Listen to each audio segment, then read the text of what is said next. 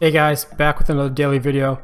The market just closed. It's Thursday, June 4th. It's 4.09 p.m. And looking at the board here, a lot of red on the board. It just wasn't a good day in the market. But the odd thing is, so unlike yesterday, there was a lot of green on the board and the semiconductor sector was red. Well, looks like every other stock finally caught up today and went down in the red, whereas the semiconductor kind of traded sideways or was even in the green a little bit but my tried and true AMD was also a little bit in the red. And it's been very stressful playing AMD this week. If you look at the chart, so when the market opened up this morning, pre-market, in the red, traded a little sideways, and then 9.30 a.m., as soon as the market opened, it took off like a rocket. And so I thought, oh, this is going to be the day where AMD finishes in the green, and you know we're above $53, so my puts are secure. I make a little bit of profit on my shares that I bought. So I was hoping that we get up to this point. Then we got up around 10, 10.30 a.m. And it was trading a little bit sideways, not going up as hard. So I said, that's fine. As long as it trades sideways for the rest of the day, I'm happy and stays that way for Friday. I'm looking good so far. And then 10:40 a.m. hits, then it starts going back down, goes back to where it closed yesterday, keeps going down a little bit, and then basically trades sideways for the rest of the day.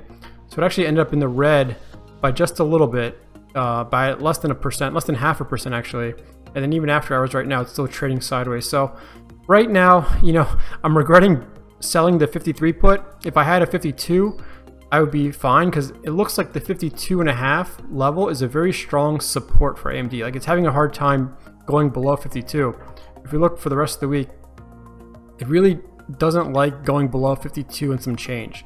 So instead of 53 52 51 puts if I had 52 51 50 I'd be pretty uh, stress free this week but you know, this this at the money put I sold, it's causing me a lot of anxiety this week. I don't think I'm going to do it again, just because it's really bothering me. Uh, not that I don't want to get assigned shares. My main concern is what the market is doing right now, because as I showed you yesterday in my last video, the Qs are basically at all-time highs. And again this morning, they got up there around all-time highs, maybe even got a little bit above, and then immediately got rejected and then traded in the red and then really dropped in the afternoon. So that's kind of what I wanted to see was going to happen was is the market going to accept making new highs in the midst of a pandemic, in the midst of rioting, uh, and just overall bad news for the economy, right? More unemployment. So as of today, it doesn't look like the market like that. So my fear is that if we're in another, or if this is the beginning of another downturn, I don't want to own any shares of anything right now because then I can ride the wave down and then get in at a lower price. So my thought process right now is what do I want to do um, for tomorrow? And actually at the end of the day, today, in the last about 10 minutes or so, I was watching it around 3.30, 3.45 to close and see it popped a little bit from 52.43 and it started going up. I was hoping it would get up above 53 and close. Uh, in retrospect, I should have just sold early in the morning when it was above 53, but I thought it was going to trade sideways or keep going up a little bit. I didn't know it was going to come right back down. But my game plan, so what I thought I was going to do, I had a couple options this uh, afternoon. I said, you know what, I can milk a little bit more money out of this because I have 200 shares of AMD. So I could just sell a very short-term covered call expiring tomorrow at the $53 strike or higher and just make like $39 times two contracts, so roughly $78 of money. And then if AMD goes above 53 tomorrow, I'll make that money the premium and then my shares will get called away. Or I could go a little bit higher and say 54, 55, so it's less likely that my shares would get called away, but I can make a quick extra 10 bucks, 26 bucks in premium for the week just for holding those shares. But then the downside of that is let's say AMD really takes off tomorrow, and let's say I had sold the $53 covered call, then maybe tomorrow, end of day, if AMD closes, let's say at $54, well then I left $100 per contract or $200 since I have two contracts of money on the table. I would have left $200 on the table. So my strategy was either sell the covered call and just get out and be cash going into next week, or I can wash the stock tomorrow and then just sell the shares off on my own. Meaning, if tomorrow we get to like 53 and some change, like we did today, like let's say we get up to 53.67, let's just say 53.50 to give a round number, and just sell those shares off, I would make similar money than selling at $53 a share plus the premium. Actually, I would probably make more money. So I think that's that's what I chose to do. I didn't do any covered calls at the end of the day today. So I think what I'm going to do is I'm just going to keep an eye, and I can even set a stop loss. I thought about setting a stop loss this morning when I went up above 53, because what I can do is once it breaks above 53, I can set a stop loss at $53. So if the stock ever goes back down to 53, it'll automatically sell it. And then I've essentially locked in profits at that point. But um, I guess I got, I got a little greedy, I think, because I didn't know that it was going to come back down. Um, you can also set trailing stop losses and you can set them for extra, you know, 10, 15, 20, 30 cents, whatever you want to get a little bit more value out of the stock. But that's what I was kind of toying with as far as how I want to play this because I, I really think based on what the market's done today and yesterday, I'm not liking what it's doing personally. You know, I, I feel like we're almost at a top. It feels like it. I may be wrong, but I, I, I don't want to have, right now I have a lot of money tied up in AMD between puts and shares, and which means a lot of my portfolio, or actually the vast majority of my portfolio is tied up in AMD right now. So I think I want to be cash again going into the weekend, just because if something does happen this weekend, like crazy bad news, or the market decides this is the top and it doesn't make sense to hit all-time highs again in the midst of all this bad news, I don't want to be caught bag holding. So I think what I'm going to do is try and get cash, just be cash. Um, and then the other interesting thing was my puts that I have right now at 53, 52, and 51, they're all profitable for me right now. So even though my $53 put is in the money, I had sold this for a dollar eight. So right now I could buy it back for $77. So I'm actually profitable by $31 on this put, even though it's in the money. So I thought about doing that as well because that's the only put right now, knock on wood, that I'm worried about. My 51 and 52 puts have been safe. Like I said, AMD really doesn't like to go below 52.50 or so. So that's a pretty strong support level right now. So the 53 put is the only one I'm concerned about. So I could, early tomorrow, I could just buy this put back and close out the position for a profit and then just hang on to the 51 and 52 and let them go to expiration tomorrow. And I should be okay. But right now I'm profitable on all three of my puts because this one I sold for 108. It's now at 77. The 52 put I sold for 67.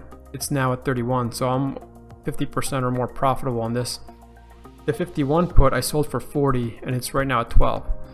So the one negative in my portfolio right now is actually my shares of AMD.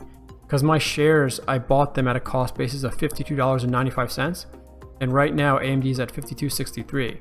So let's just do quick math. $52.95 minus $52.63. So I'm down 32 cents a share and I have 200 shares. So I'm actually down $64 on my shares. But if you add up all my profits on my puts, I'm actually in the green because just remember this number 64. So I'm, I did 108 minus 77, right? So I'm profitable by $31 on the 53 put. I am profitable by, what is this, 67 minus 31, so it's $36 on the 52 put. And I'm profitable by 40 minus 12, so $28 on the 51 put.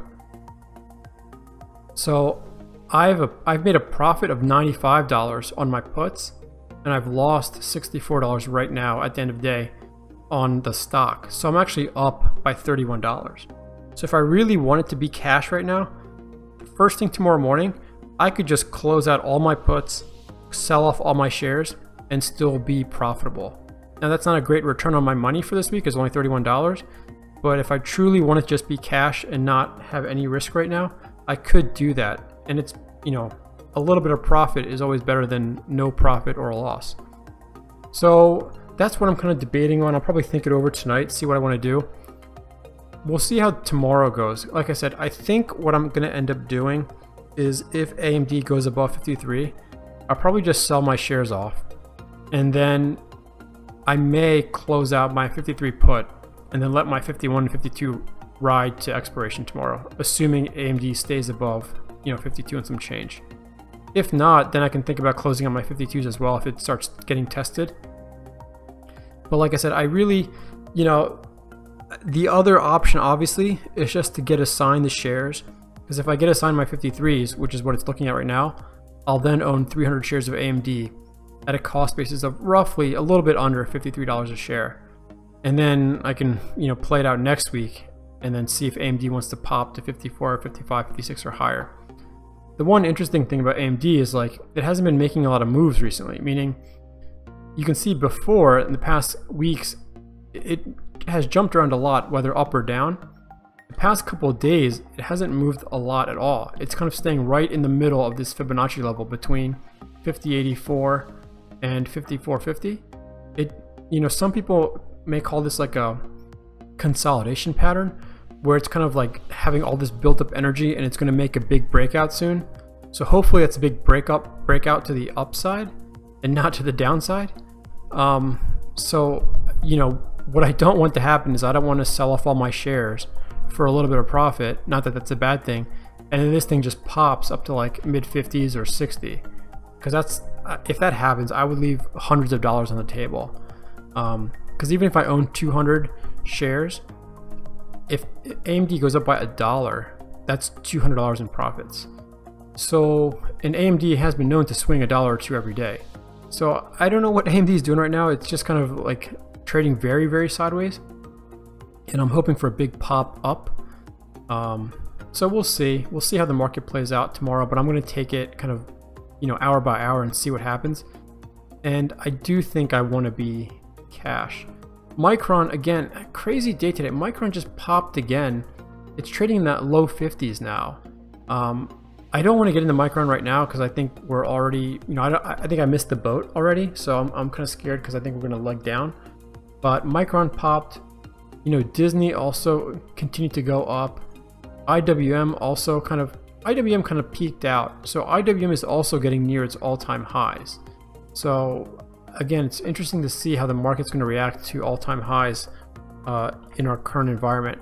So if we take a quick look at IWM on Robinhood, so you can see just a one-year chart. Uh, we're not that close as QQQ, but IWM is like 168. Right now we're at 145. So actually we're not that close compared to QQQ.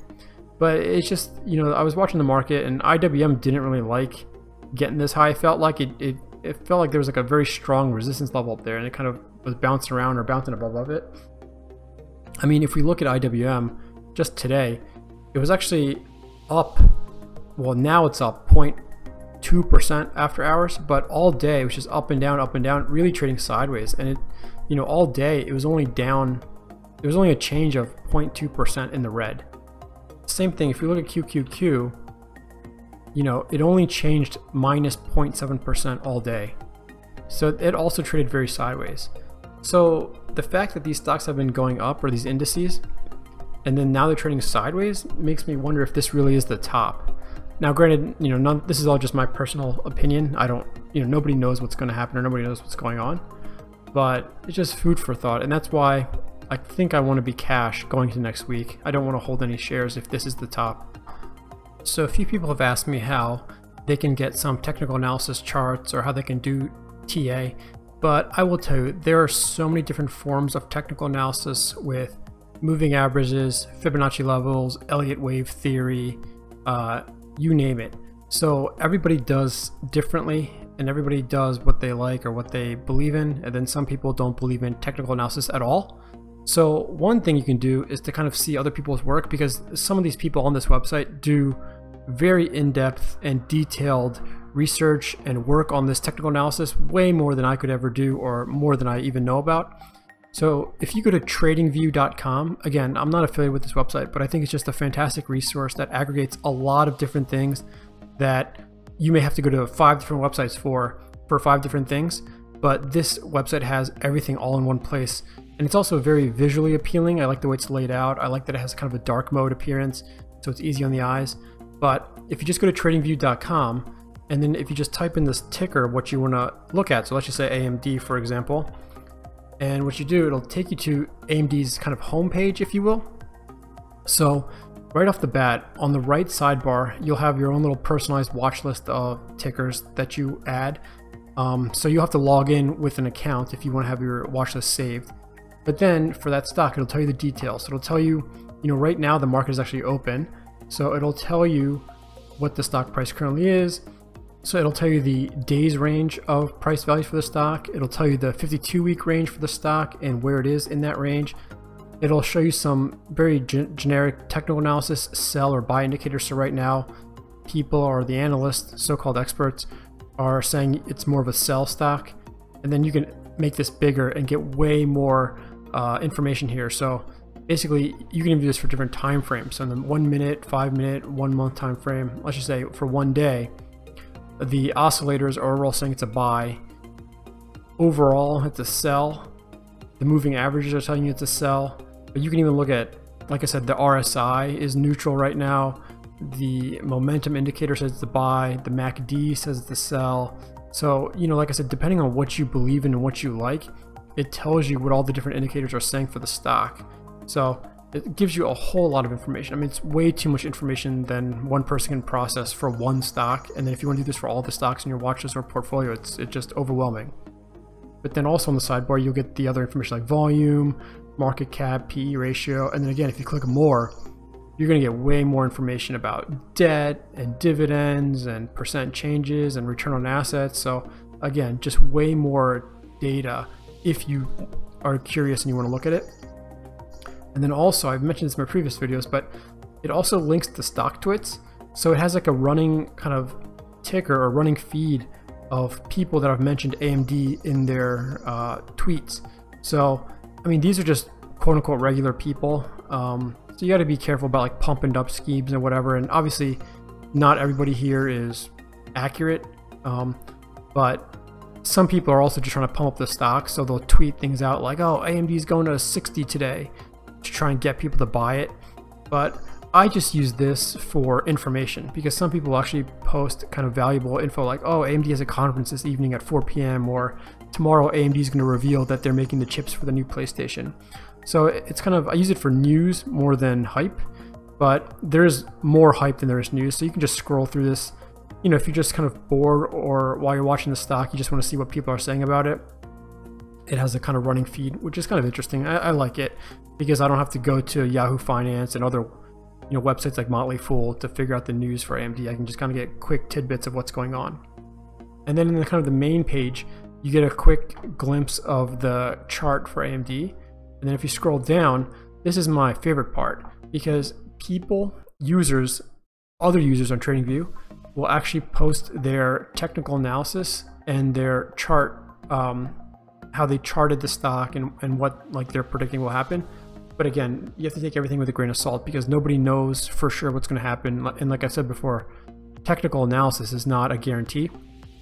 But you can see that there's a lot of top authors, they call them, and you can choose to follow them because they'll probably be putting out consistent TA on a lot of the stocks. So for example, let's just look at, you know, some of these. Let's look at this one. Is it says AMD, are you a short?